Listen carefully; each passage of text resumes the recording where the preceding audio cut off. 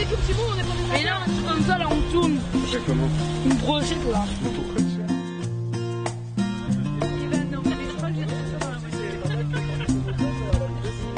Bienvenue d'abord sur le terrain de l'agence. Euh, je suis très heureux aujourd'hui de vous accueillir tous euh, sur ces terrains qui appartiennent à l'agence de l'eau depuis maintenant une bonne trentaine d'années. Des terrains euh, qu'on m'avait toujours décrits comme étant un lieu assez extraordinaire de nature ordinaire. Alors la nature ordinaire pour les botanistes, euh, ça parle. Pour euh, quelqu'un de normal qui n'est pas botaniste comme moi, ça parlait un peu moins. Je suis déjà venu plusieurs fois et chaque fois je trouve ce territoire de plus en plus beau, de plus en plus extraordinaire.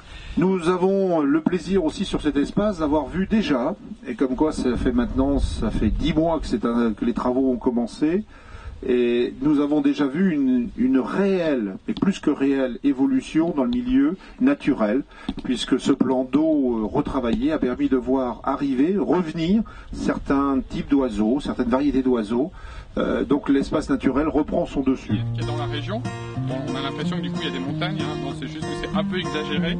Ça vous met juste en avant. Euh... Là, ce que Julien est en train de pêcher, en fait, c'est le chenal d'entrée de la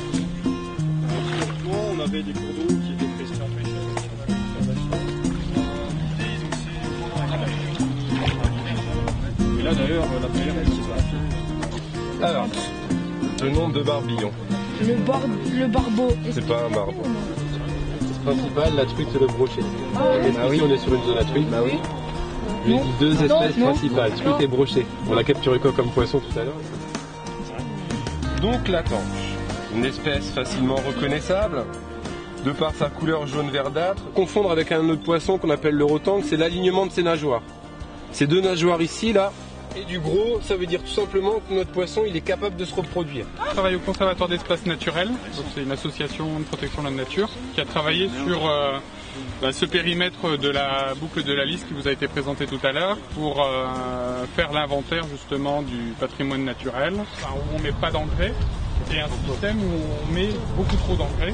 Alors que des prairies comme ici, il n'y a pas forcément besoin de mettre d'engrais, puisqu'au final, comme c'est inondé tous les hivers, ben, les inondations, elles apportent déjà plein de, bah, de matières euh, nutritives.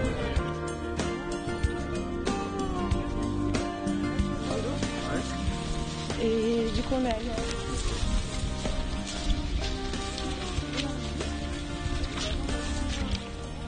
Ah oui, c'est la menthe, tu piétines de la menthe. Ah, c'est bon. Bah ouais, ça sent bon. hein. C'est de la menthe sauvage. Euh, dans beaucoup d'endroits, maintenant, on commence à faire machine, machine arrière. Alors tu fais comme ça, puis tu tournes pour, euh, dans le son. Et t'appuies dessus en même temps. Donc comment est-ce qu'on définit que c'est une zone humide? Bon là, vous voyez, il y a un premier, la première couche au-dessus.